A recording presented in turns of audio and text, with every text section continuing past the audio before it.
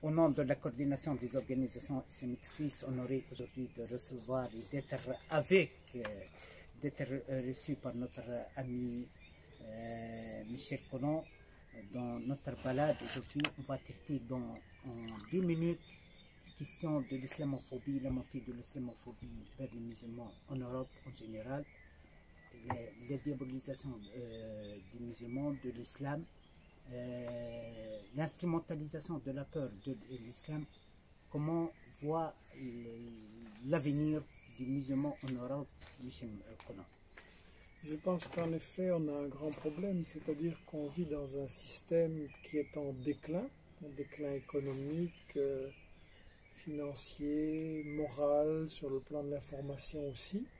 C'est-à-dire qu'on a une société où il y a un écart de richesse de plus en plus grand entre quelques milliardaires qui contrôlent les grands secteurs économiques, qui contrôlent aussi la presse, la finance, et ces gens construisent des fortunes de plus en plus énormes, complètement inutiles d'ailleurs, complètement parasitaires, et de l'autre côté, de plus en plus de gens, en Belgique, dans mon pays, en France, en Europe en général, ont du mal à finir le mois et ne parviennent pas à payer euh, les études de leurs enfants, le médecin, euh, ne parlons pas de petits euh, plaisirs de la culture, etc.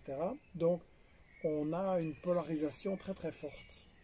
Donc, on pourrait avoir, et on devrait avoir, beaucoup de mécontentement, de révolte sociale et un changement de la société pour que tout le monde ait un avenir correct, normal pour ses enfants.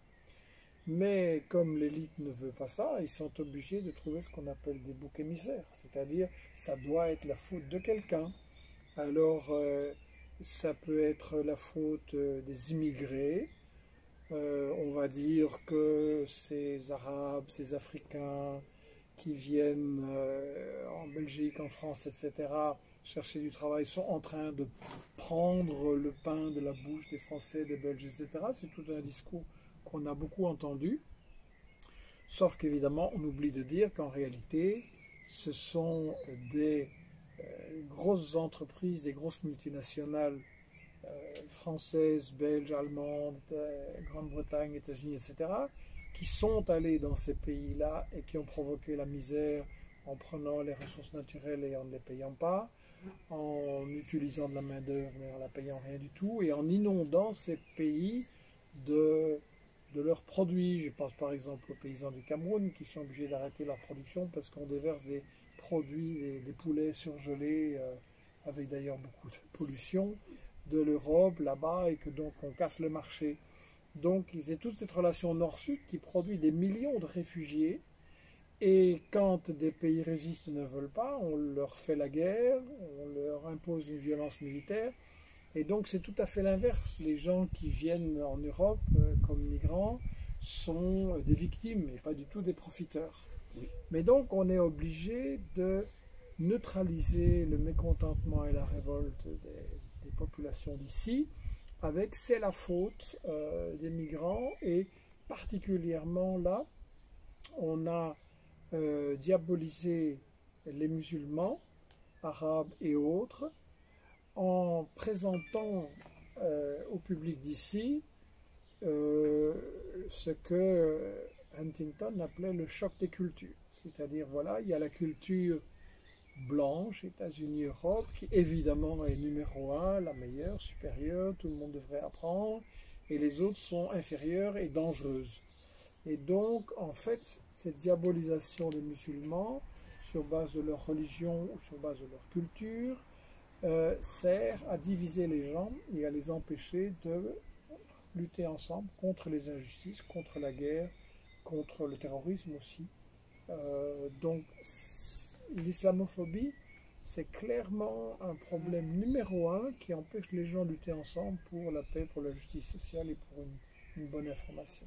Mon dernière question, il y a une tendance officielle au sein de l'Europe surtout d'étatiser l'islam, de créer de créer, par exemple, de créer des responsables de service, des musulmans de service, de faire des études sur l'islam, des études pour l'islam, pour formatiser l'existence de l'islam et du musulman dans la société européenne sur des revendications européennes sans prendre en, compte la spécificité de la communauté et les revendications de, la euh, communauté. Par exemple, on, insiste à étudier l'aspect terrorisme, radicalisation, sans, sans, la participation des musulmans. Ils doivent jouer le rôle euh, des d'expérience, non pas euh, le rôle d'un décideur, d'un homme euh, efficace dans la conception et la mise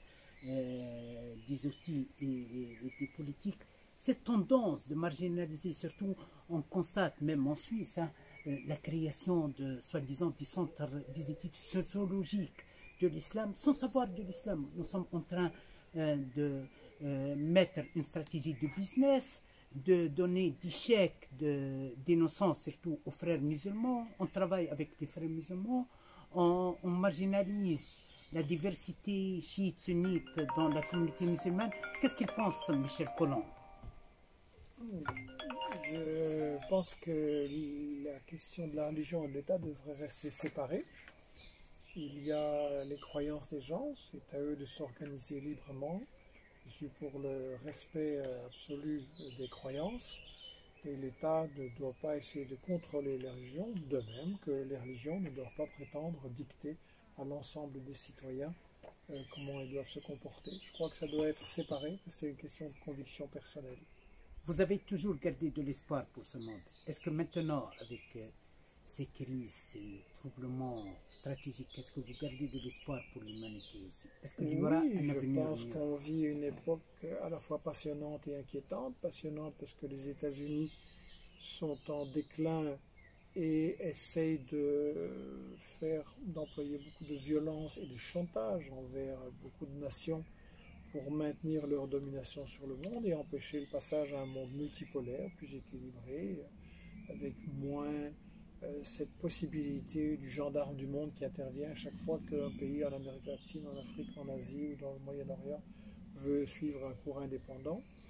Donc c'est passionnant de voir cet affaiblissement et des peuples qui se coalisent, qui forment des alliances pour résister à ça.